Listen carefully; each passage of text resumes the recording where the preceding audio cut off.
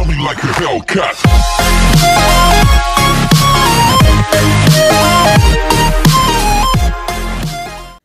Hey everybody, what's going on? Welcome back to the channel. Before this video starts, don't forget to hit the like button, subscribe if you're new, and turn on post notifications so you never miss a video.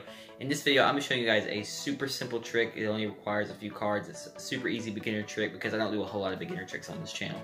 And so I'm to go ahead and do a beginner trick for you guys. Super simple, super fun. It's a super, like if you just don't want to carry a whole deck of cards in your pocket and you just want to carry like a few cards, this is a good trick you can just pull out. You can even fit a few cards in your wallet and do this trick. So it's a super fun trick and uh, let's go ahead and get right into it. Okay everybody, so as you guys can see I have eight cards here. We'll go ahead and give them a quick mix up just like this, getting them good and mixed up. And when I'm done, I would just have the spectator select any cards. So let's say they go with this one uh, right here.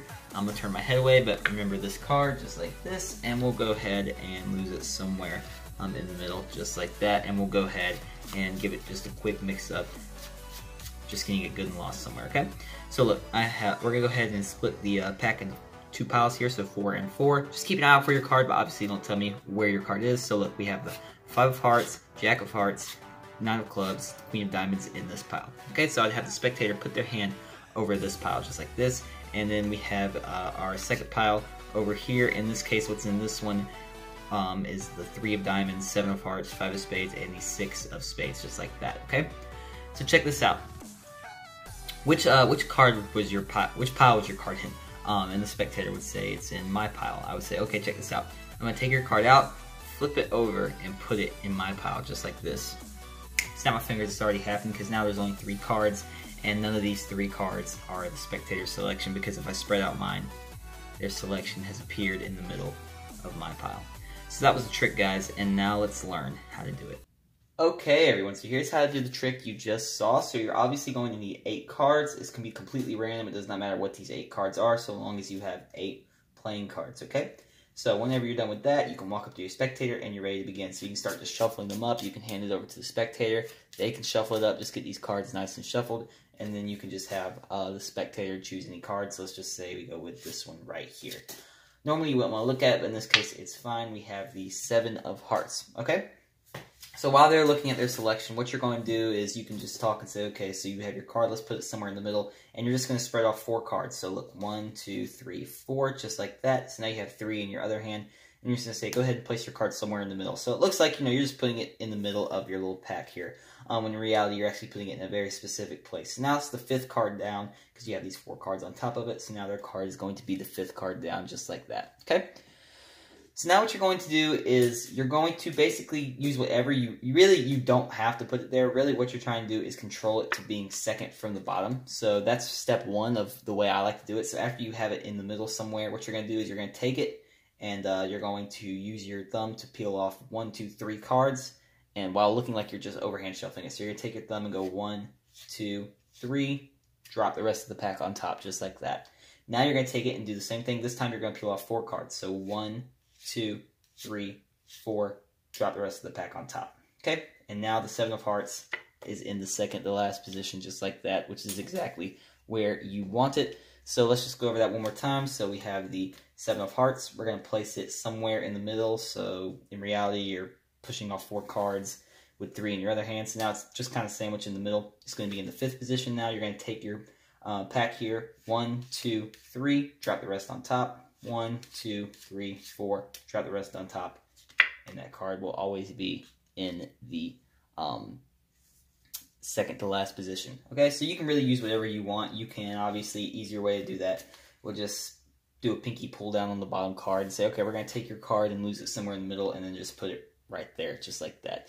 Something simple like that. Uh, so it's really whatever you guys want to do. Okay, so whenever you have their card in the middle somewhere, what you're going to do is you're going to basically go one, two, three, four, and then spread off the other four, and then split it in half. So four and four, because four plus four equals eight, duh. Okay, so uh, you're going to say, okay, so don't tell me where your card is, just keep an eye out for it. And you're going to take this bottom part of the pile, and it's going to flip it over, and it's going to lay on top of the top half, just like that, okay? So now their card is right here. It's going to be the second position. At this point, you don't know what their card is, but you do know that it is uh, that second card you're going to see. So now you're going to show them uh, the four cards in this first pile. So you're going to do it in a very specific way. You're going to peel off. You're going to hold it um, in your uh, um, dominant hand, in Biddle grip, which is basically your ring and middle finger at the top edge, thumb here at the bottom, and then your index finger is just sitting right here, just like that. And now you're going to come over with your other hand and you're going to peel off the first card just like this. So you're going to say, look, we have the Jack of Hearts. You're going to come back and grab the Seven of Hearts and you're going to bring this hand under the pack just like that, okay? So you're going to come over, say we have the Seven of Hearts. Now whenever you peel the Seven of Hearts off, you're going to hold a break just like that. So now you're holding a pinky break in between uh, the Seven of Hearts and this bottom card here. So now whenever you come back to grab um, that next card, what you're going to do is you're going to ditch that seven of hearts as you grab that next one. So you just left that seven of hearts there. You grabbed at the break, and now you only have two cards here, and that seven of hearts is now at the bottom of this pile, just like that, okay? Then you're to come over, grab the queen of diamonds, just like that, and now you only have three cards here, and now you have that seven of hearts at the bottom of this pile. So let's go over that one more time just to make sure everybody's clear on how to do that. Okay, so you know that their card is the second one down, just like that. You're going to say, look, we have the jack of hearts. You're going to come over, you're going to catch um, a pinky. How do I hold this? Hang on a second. You're going to catch a pinky break just like that in between the seven and that jack. Now you're going to come over and you're just going to ditch this card, this seven right there. Your thumb is going to grab that card at the break as you peel off that three, just like that, and then the queen. Then you only have three cards here, and you have that seven at the bottom, just like that. Okay, so now that you have that, you're holding this. Obviously, they don't know that. You're going to take what they think are their four cards with their card in it, and you're going to say, put your hand over that, okay?